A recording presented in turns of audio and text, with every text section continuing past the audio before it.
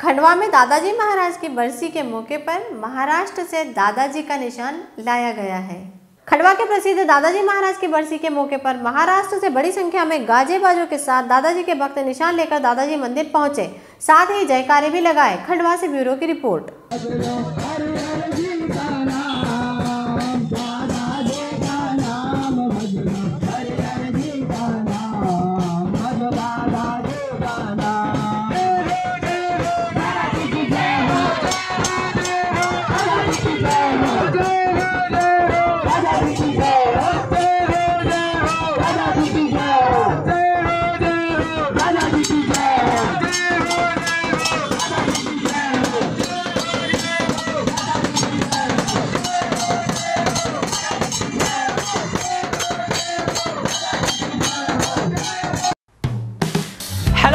आप देख रहे हैं हमारा channel S W twenty four news हमारे सारे वीडियो सबसे पहले देखने के लिए आप हमारे चैनल को सब्सक्राइब करें और पास में लगे बेल आइकन को दबाना बिल्कुल भी ना भूलें।